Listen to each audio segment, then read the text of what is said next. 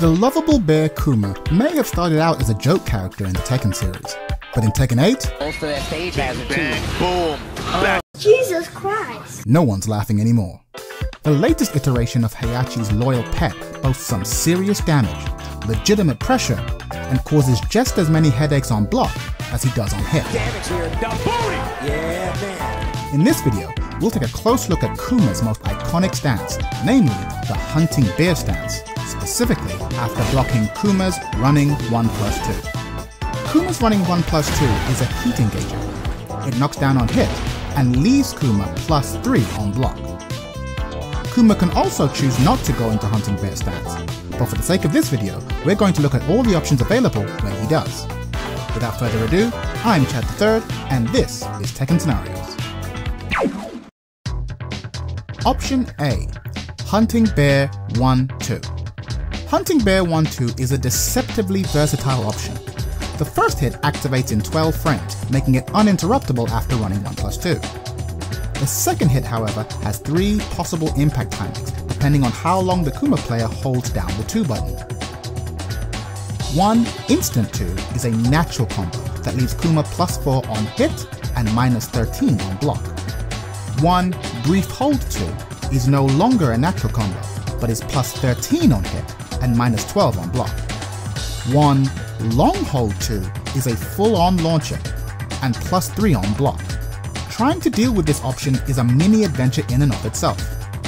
A reversal can be used to beat an instant 2, but gets blown up by brief or long hold. A magic 4 can punish brief hold or long hold 2, but gets counter hit by instant 2. Even Asuka's long lasting reversal can counter instant and brief hold 2, but the best answer to this option seems to be to alternate between simply blocking and sidestepping anti-clockwise, as a quick sidestep to the right beats both brief hold and long hold options clean. Lastly, bear in mind, get it?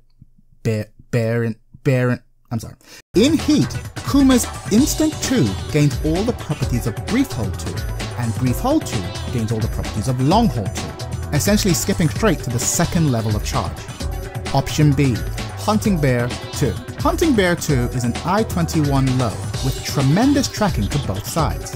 It leaves Kuma plus 21 on hit and in Hunting Bear stance, and even though nothing is guaranteed on hit, it essentially allows Kuma to loop the mix-up over and over. This low is minus 15 on block, and slow enough to be interrupted by anything 17 frames or faster. Option C, Hunting Bear 1 plus 2. Hunting Bear 1 plus 2 is an I-19 tornado launching mid that tracks extremely well to both sides. It's minus 15 on block, but the pushback on the move consistently makes I-15 attacks reach him in 16 frames instead. This means that depending on the character, you might have to settle for an I-14 punish instead. This move too can be beaten by any mid 15 frames or faster. However, be mindful that a reflexive down jab will often go over Hunting Bear 2 and instead get you launched for your troubles. You have been warned. Option D, Hunting Bear 3 plus 4. Hunting Bear 3 plus 4 is an I-21 armored mid that is minus 12 on block and gains little substantial on hit. It's also highly steppable in both directions. Not much else to really say about this one. Option E, Hunting Bear back 1 plus 2. This is another big low option that knocks down on hit and is a whopping minus 25 on block. Kuma can also choose to do back 1 plus 2, 1 plus 2, which adds a second low spin to the string, but remains equally punishable on block and doesn't really provide a mix-up. The string is easily walkable in both directions and is interrupted by anything 22 frames or faster. Option F, Hunting Bear down forward 2. Hunting Bear down forward 2 is another launching mid, this one activating in 15 frames, making it uninterruptible by anything slower than 11 frames. It's also minus 17 on block and is easily stepped or walked anti-clockwise. Option G, Hunting Bear down 1 plus 2. Hunting Bear down 1 plus 2 is perhaps the safest option, a 16 frame mid that is safe on block at minus 9 and is a heat engager on hit. It looks almost identical in animation to running 1 plus 2, and in the heat of the moment, it would be hard to tell whether you're now minus 3 or plus 9. A pro tip is to listen out for the sound cue, as the running 1 plus 2 will make the chip damage sound, whereas hunting the down 1 plus 2 won't. Also, this option can be easily stepped in both directions.